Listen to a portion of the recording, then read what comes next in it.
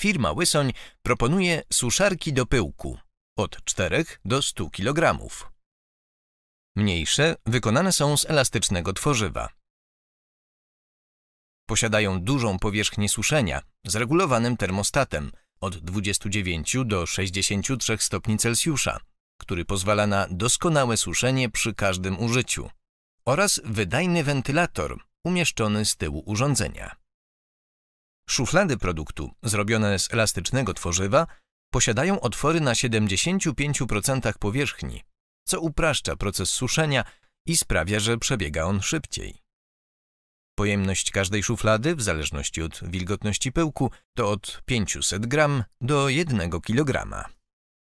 W ofercie są również suszarki ze stali nierdzewnej o pojemności od 30 do 100 kg pyłku. Urządzenia te składają się z dwóch elementów – szafy grzewczej i wózka jezdnego z tacami na pyłek. Tace, na których umieszczony jest pyłek, można łatwo wysunąć i skontrolować postęp procesu suszenia pyłku.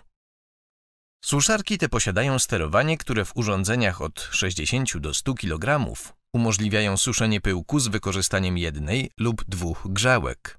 Posiadają również cyfrowy regulator temperatury w zakresie od 5 do 95 stopni Celsjusza.